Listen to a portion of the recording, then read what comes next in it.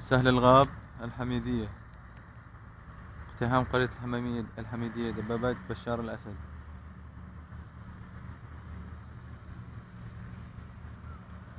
ستة اثنين ألفين واثناش.